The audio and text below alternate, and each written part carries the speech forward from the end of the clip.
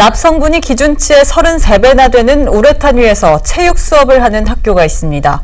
부모라면 도저히 납득할 수 없는 일일 텐데요.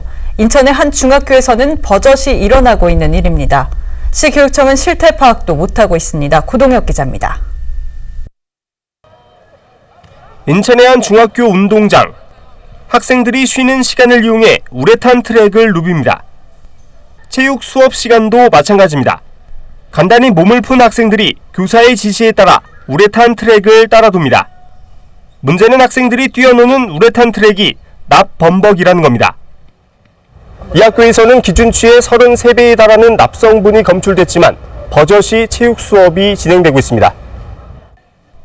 학교도 이미 우레탄 트랙에서 납성분이 초과 검출됐다는 사실을 알고 있었습니다.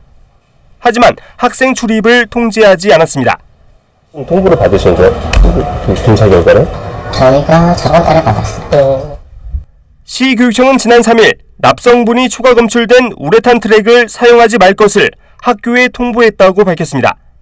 하지만 강제성이 없는 말뿐인 지시는 지켜지지 않았고 결국 학생들의 건강만 위협받게 됐습니다.